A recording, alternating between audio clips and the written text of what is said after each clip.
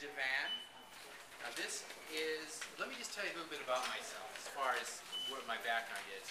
I uh, have, I am I'm basically a home trained cook. I learned to cook when I was a child from my grandmother who used to take care of us every day.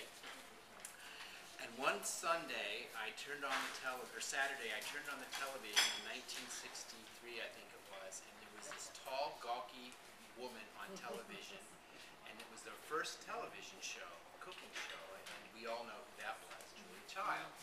And I was hooked, and I learned how to cook. I watched almost every single one of her episodes. I, ha- I have her books, and I also learned uh, to cook with Jacques Pepin every Saturday. So those, I consider myself to be uh, a, a classically trained home schooled cook. I developed this recipe actually for people who were uh, not total vegetarians, but did not eat anything but fish.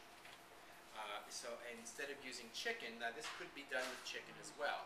But what I'm going to do tonight is the tuna divan, but I'm making the, uh, uh, the chicken divan sauce, and I'm going to be using uh, chicken stock. If you're vegetarian, you can use vegetable stock to make the roux and the, and the sauce.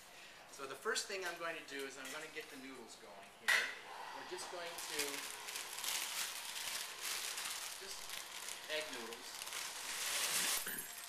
And um, you want them to be kind of al dente, okay? Uh, you don't want them to get too overcooked because they will get much. You've seen them on television, just take this and throw this in here. But when it comes to baking, they measure it. And there's a reason for that. Baking is chemistry.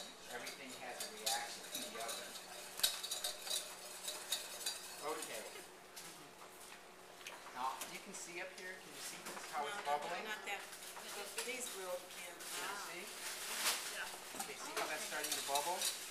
Okay? Now, there's also called uh, beurre uh, noisette, which is nut butter. Now, you can actually take this to a browning stage before you put the flour in, and it gives a really kind of a hazelnutty flavor. It's brown butter. Uh, some people find it a little bit too uh, too strong. Okay, now I'm ready to add four cups of either vegetable broth or chicken